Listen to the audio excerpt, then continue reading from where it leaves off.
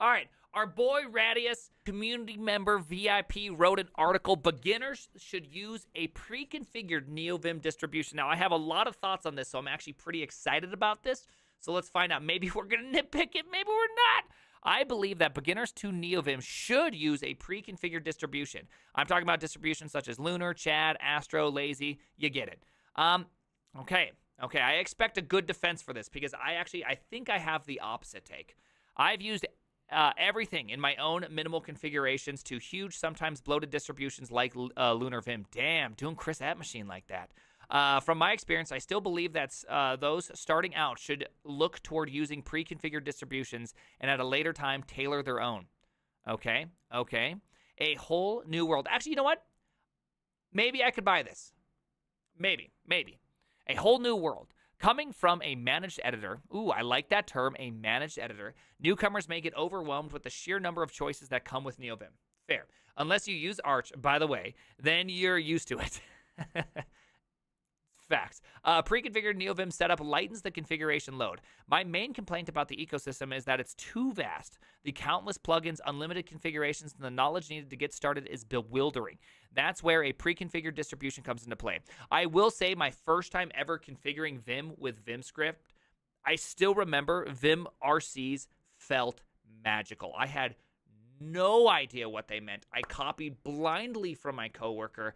It felt so uncomfortable. It felt so foreign, and I was just like, "What the hell is even happening here?" And so I get, I get the feeling. I get the feeling. And I had a whole goal that my Vim configuration at one point was only like 200 lines long, 150 lines long. I think at one time I got it all the way down to like 75, and this included a few plugins and all that. What the hell is even that? Was me all the time. These configurations act as curated showcases, offering a glimpse of what plugins and configuration types are available. By trying different distribu- uh, distributions, you will figure out which plugins and settings resonate with your unique coding style and requirements. It's like finding the right pair of shoes in an infinite store. Each fits and feels differently, and you'll never truly know what's comfortable until you have tried several. Okay, okay, okay. Monkey see, monkey do. The exposure to different types of configuration help guide newbies on different ways to write their own. I know that after looking at several different formats, I found what stuck uh, to me. Yes, I am referring to using others' configurations as a reference too. Try them out first, then delve in deep and see how it is done. Yeah, I mean, this is kind of the problem with this is that there's just so much bewildering going on to begin with that when you try to dive in deep to something like Lunar Vim, there's just so much to it. I think it's really hard to kind of that first step is a big first step. Whereas something like Kickstart, I think, is like a really great first step. Kickstart is so good. It just gives you exactly what you need. I've actually was thinking about doing like a Kickstart extension and just have like Kickstart but Prime's version, right? And just like throw in a few plugins and a few key maps that I find really crucial, and that's it. We're talking like Fugitive, Undo Tree, Telescope, Harpoon.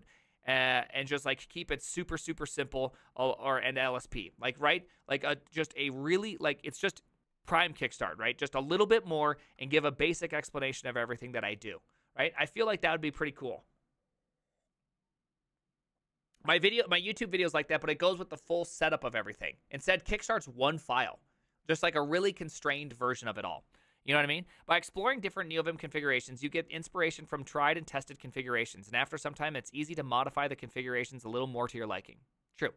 Don't stop there. I still believe that after you try out multiple NeoVim distributions, is to write your own. At some point, or at this point, you know what exists and what you like. You've seen examples of how everything is glued together, and you're graduated from Beginner Academy. A super easy way to start is to use Kickstart. Absolutely. This configuration is very minimal and contained within one file, meant to be a launch pad for your own configuration. Absolutely. I don't think sticking with one distribution forever is the best idea.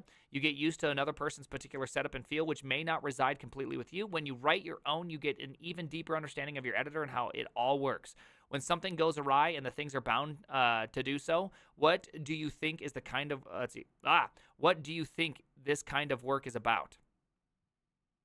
I don't really understand this parenthetical to tell you the honest truth. You can figure out pretty quickly how to resolve it since you've built it. This is my opinion. I'm not responsible if your feelings were wounded throughout this read.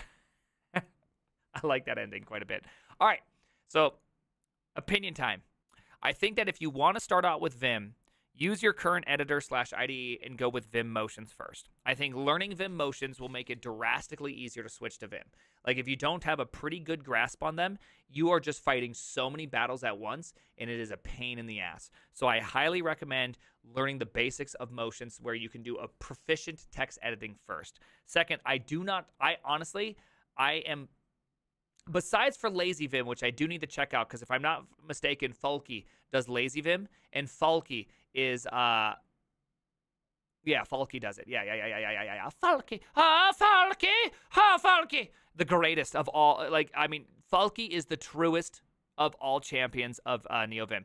He is the he's the guy that holds up like a quarter of the ecosystem. Him and TJ are responsible for a huge amount of the, uh, the ecosystem. Just absolutely love this guy's work. Uh, so I could probably be interested in this one. The problem I have with any of these uh, uh, of any of these is to make edits to understand them is a huge leap. It's just a huge leap to understand what's happening because there's so much underlying knowledge, project structure, layout, how files are executed and sourced. What is file pl- type plugins?